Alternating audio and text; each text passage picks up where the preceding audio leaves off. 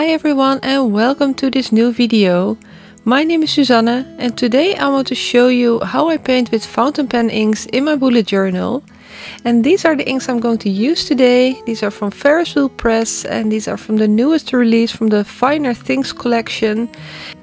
And the colors are Spruce County Post, Steeped Umber and Oyster Hour. I will also uh, write them down in the description below this video, so you can also check them out later if you want. And I'm going to use watercolor brush and I also have a little cup with water next to me. And I'm going to start with the color Oyster Hour. And what I do, I just dip the brush in the ink and I just start painting like this with it and I didn't wet the brush before I just use a dry brush and also I use dry paper. For the ones who are familiar with watercoloring you also have that option to wet your paper beforehand but I didn't do that. I just used it just on dry paper. And what you see is that you immediately see some shading from the ink if you just go once over the page with your ink it's light and as soon as you go over it again it gets darker. And that's the way how I like to play with the fountain pen inks with doing this. I just like to go over some parts to make it darker and you can make really nice uh, splashes also. And that's what I really really like with painting with fountain pen inks. Because fountain pen inks have some special properties um, they are called shading, sheen and shimmer. And this these fountain pen inks that I'm using right now, they have some shading and also some sheen. And yeah, for the ones who don't know what it is, the shading is yeah that you see like differences in color, like uh, where the ink pulls up, it gets darker, and uh, where it doesn't pull up, it's lighter. You also see it happening right now while I'm painting this. Uh, when I go over it again with my brush with some more ink it gets darker and the parts that I touch just once it uh, stays lighter and that's called shading. And what I'm doing right now, uh, I add some water and yeah the effect with that is that you get like really nice uh, splashes and uh, borders and edges and it looks really really playful. R right now it's still a bit like uh, shiny from the wetness but later on you will see how it turns out. And now I start with my second leaf and here you see the shading. On the right side you see it gets darker and um, yeah it's all the same color of ink but you see just the color differences this shading property is actually also the reason why I fell in love with writing with fountain pen inks. I remember I once saw a picture of somebody who wrote the text with uh, Jacques Herbin ink and I just instantly fell in love with it. I thought it was so beautiful.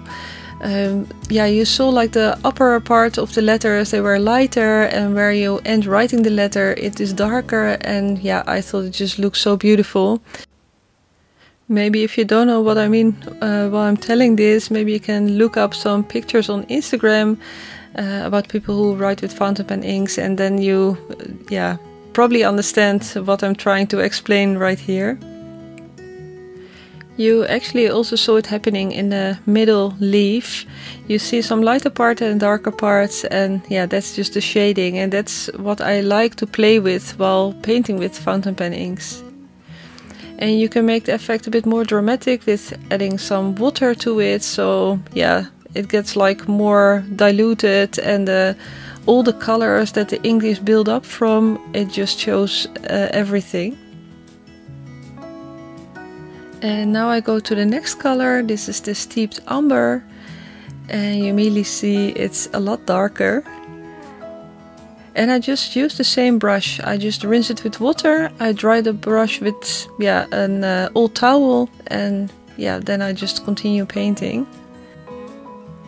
In Instagram I also got a few questions about how I clean my brushes and which kind of brushes I use. I got these brushes from my mother. I have no idea which brand it is, but yeah, it are just watercolor brushes, so I think any watercolor brush will do and I just clean it with water. In my experience, um, yeah, it works quite fine. I just uh, keep the water running over it until it turns uh, clean. and you can also use a little bit of soap a bit soft soap to clean it and you just should be really careful because the hairs of the brush are shaped into a really fine point and you really don't want them to get spread out or get harmed. So when you clean your brush you should be really careful uh, doing that. And back to the painting I just went to the third leaf with steeped umber and as you see I first draw the outline and then I fill in the whole white part just to fill up the color and then I go over and over it again at some parts to create some depth in it. Uh, where I want it darker, I just uh, make it darker with going over it again.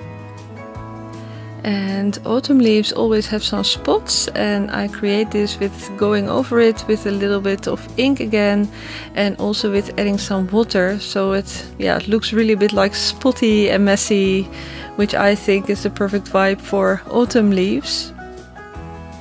You can, if you want, also create a more clean look with painting with fountain pen inks, but in this case I don't want that, I want it spotty and messy.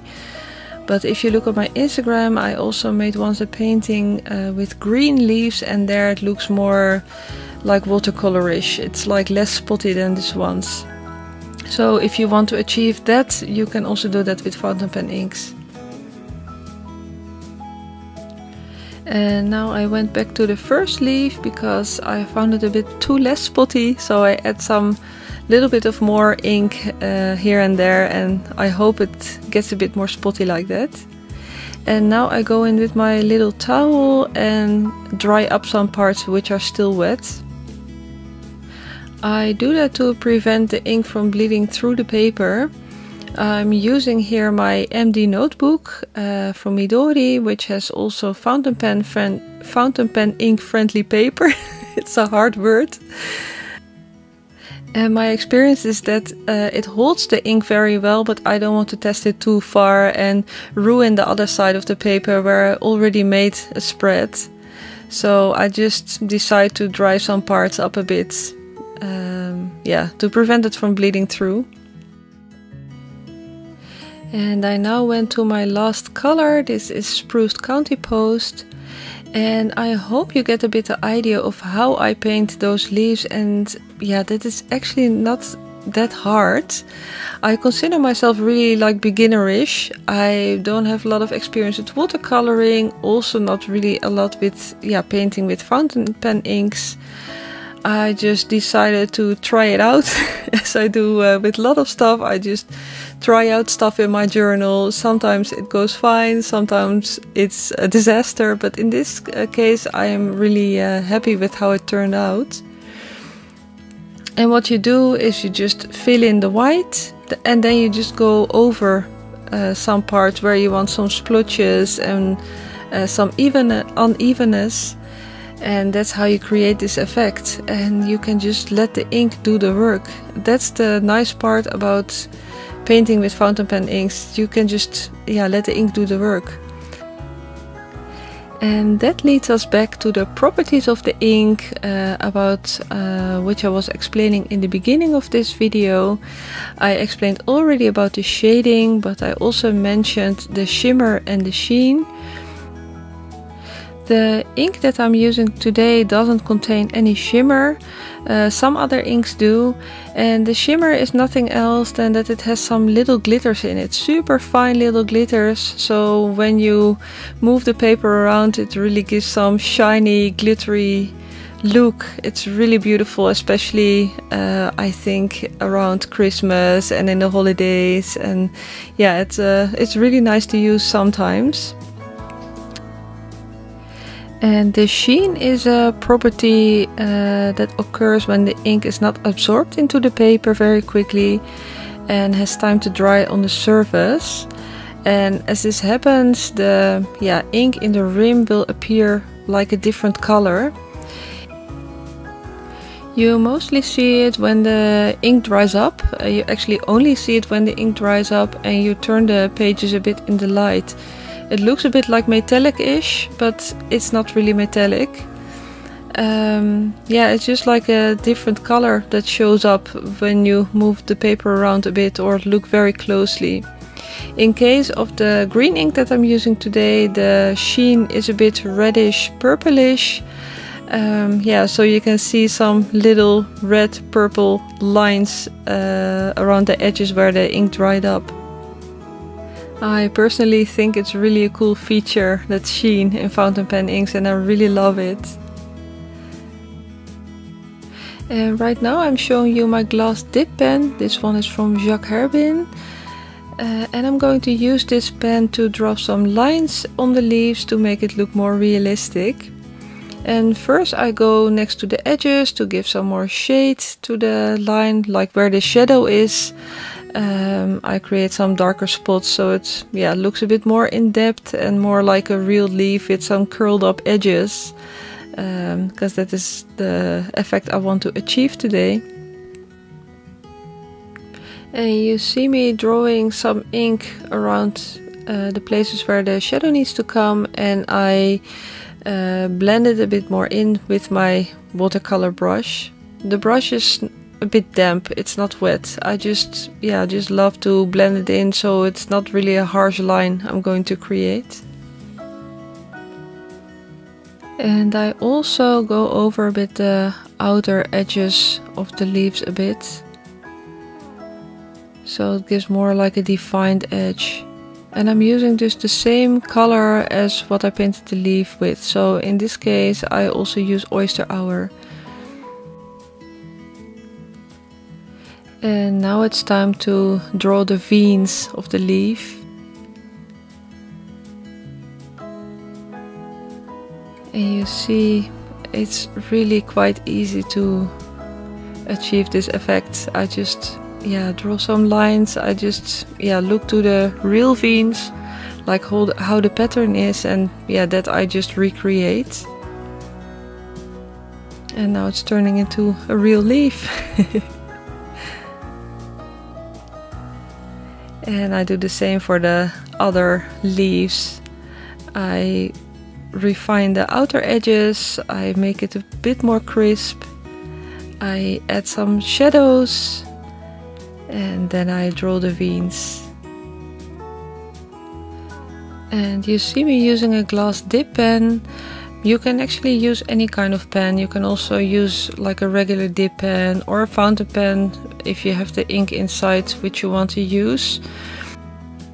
What I personally like about the glass dip pen is that it holds quite a lot of ink, so you can write long with it or draw long with it. Um, I think you can even write a whole page with just one dip. Um, and what I also like is it's easy to clean.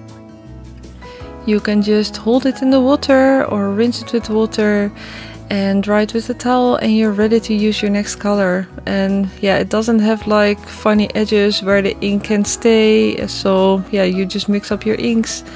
In that way I find it really nice to use this glass dip pen. And also it looks so nice I think. It looks like uh, so old school or a bit more uh, like from old times.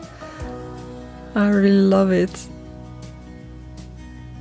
Honestly, in the beginning, I also needed to get a bit used to the feeling. It really gives a bit like scratchy feeling when you write or draw with the glass pen. It just feels different than writing with metal, obviously.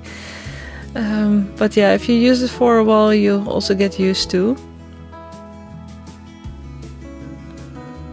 I will also link, by the way, all the tools that I use in the description below Except for my brushes, I really don't know what brand it is, but all the other tools I will link or I write down the brands.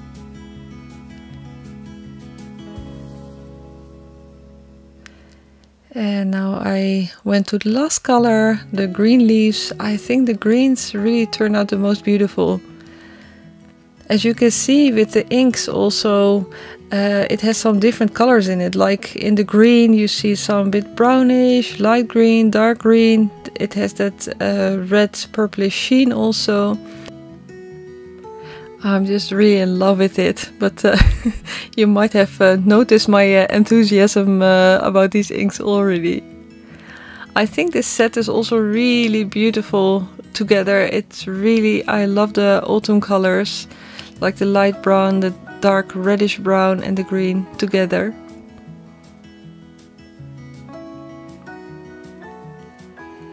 And now I finished the leaves and I decided to add some little distress oxide in the light color. I used pumice stone to color a little bit between the leaves because I found the contrast between the paper and the leaves and the yeah the space that was between a bit too light. So I decided to give it a little color like this. But I don't want it to end up too dark because I still want the leaves to stand out. And I also wanted to create some little spots and for that I'm going to use this stamp from Stampers Anonymous and I use the color vintage photo and I just randomly apply uh, some ink here and there so it gives a little bit of a more coherent feeling I think like this. And yeah now the left page has some leaves but the right page is like completely white and I decided to give a little tiny collage on the right side.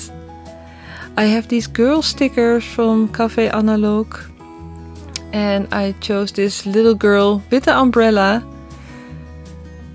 because it's like raining a lot right now in the Netherlands. And as I told you last week, we are uh, having a huge renovation now at our house, and for that, I'm using this chair to have a, like a little hint to the renovation. And I'm going to do it with some embossing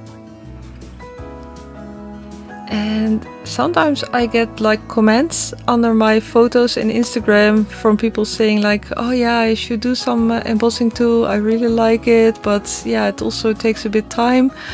I uh, timed it and it took me like two minutes to make this image and cut it. So it's really like time is no excuse to use gold embossing. just do it. It just really takes two minutes to create this image, including cutting. So for the ones who are still in doubt, just get your tools and just do it. And I also cut out the white edges from the girl sticker and I have this label and I always like with this label to cut out all the white edges and have only the border. And this washi tape is from Loi Designs. I really like it because it has like also that autumny colors and I also cut out some branches from this one and also stick it to the page.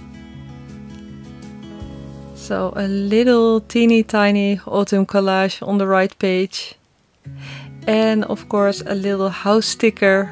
This is from Black Milk Project. And I like to use this one as a hint to the renovation that's going on at our house right now.